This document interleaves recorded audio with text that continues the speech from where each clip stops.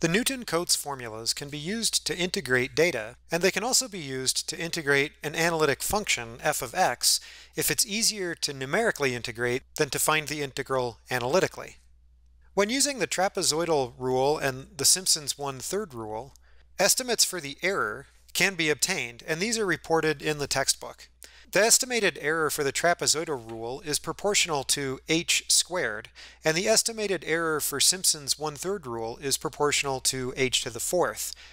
The estimated error for Simpson's 3 eighths rule is also of order h to the fourth. If we substitute b minus a, the length of the domain, divided by n, then the trapezoidal rule is proportional to 1 over n squared, and the error on the Simpsons rule is proportional to 1 over n to the fourth power. Clearly, the error goes down as n, the number of data points, increases. Earlier, we combined two finite difference approximations of a derivative that contained different step sizes to obtain an estimate with a reduced error. We can do the same thing with integrals by applying a different method of Richardson's extrapolation. In this application of Richardson's extrapolation, we combine two different approximations that both have order of h to an even power, and that provides us with a different approxim approximation that has an error of the order h with that same even power plus 2. If i is the true value of the integral, and i sub h1 is the value of the integral estimated with an interval of step size h1, and i sub h2 is the value of the integral estimated with an interval size h2, then we can calculate similar estimates from for the integral using the IH1 and IH2 integrals, each of which have an error associated with them that's proportional to either h1 squared or h2 squared. So to apply Richardson's extrapolation, for example, we might combine two methods that both have an error of the order h squared, such as two estimates of the integral using trapezoidal rules. The first estimate uses the integral with h1, and the second estimate uses the trapezoidal rule with h2. The constants that multiply h1 squared and h2 squared in the error are the same. Note that for the trapezoidal rule and Simpson's rule, this constant is actually independent of the step size h. So we can combine these two estimates to eliminate c. If we use an h1 that's equal to 2 times h2, that is, we cut the interval size in half when making the second estimate, then we need to combine the first and second estimates for the integral by taking 4 thirds times the integral estimated with the smaller interval minus 1 third times the integral estimated with the larger interval. And that should eliminate c. Without showing the derivation, we can now be assured that the error terms are of order h to the fourth.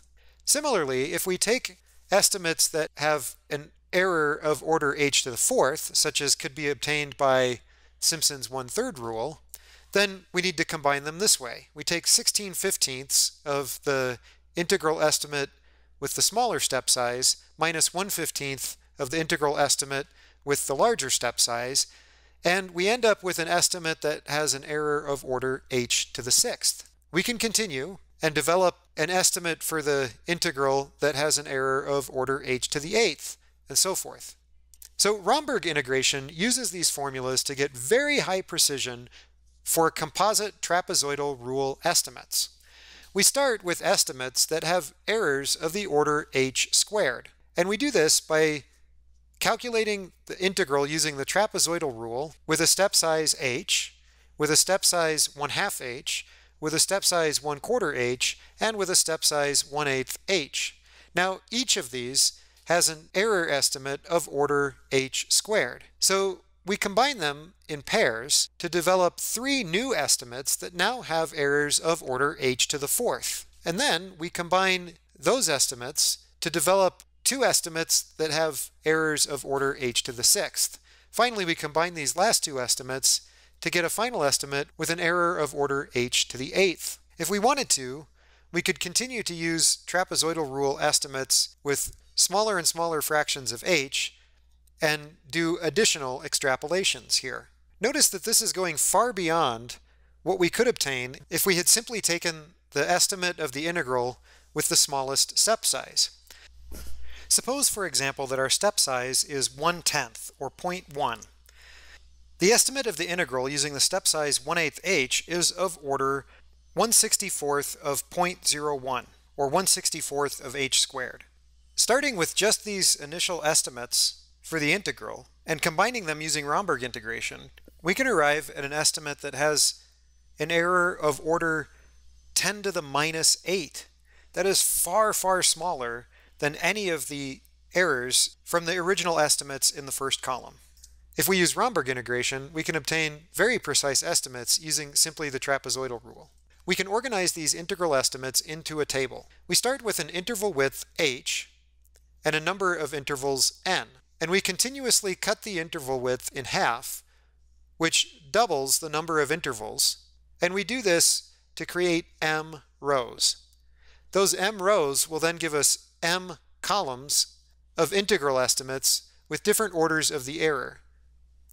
The combination in the final column will be the one with the smallest error, which is of order h to the 2m. When we perform Romberg integration using beginning with equally spaced intervals, and we cut the intervals in half at each step, the formulas used to combine the integrals from the previous step have a pretty pattern, where the numerators are all a perfect square of an integer power of 2. This is 2 squared, this is 4 squared, this is 8 squared, etc. The power of Romberg integration is that by increasing m, which is equivalent to increasing the number of subintervals, we can make the truncation error as small as we need to, but only using trapezoidal rule integration. This is particularly useful for analytical functions that are very difficult to integrate analytically because we can calculate the value of the function at as many points as we need to. If we have real xy data, we may be limited by where the data are collected. So far, we've talked about different methods for increasing the integration accuracy. The Newton-Cotes formulas change the order of a polynomial used over the interval in order to improve the accuracy. The rectangle rule is a zero-order polynomial. The trapezoidal rule is a first-order polynomial. Simpson's one-third rule uses second-order polynomials, and Simpson's three-eighths rule uses cubic or third-order polynomials to increase the accuracy. We can also increase the accuracy by changing the number of points that are used to define the subintervals. We saw this when we took each of the Newton-Cotes formulas and composed composite rules based on them. The Romberg integration is another method that takes advantage of using additional points in the domain or subdividing the subintervals to improve the accuracy.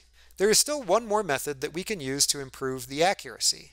And that's not to add additional points to the domain or add powers to an approximating polynomial, but rather select where exactly in the domain we calculate the value of the function. We'll cover this method in the next video.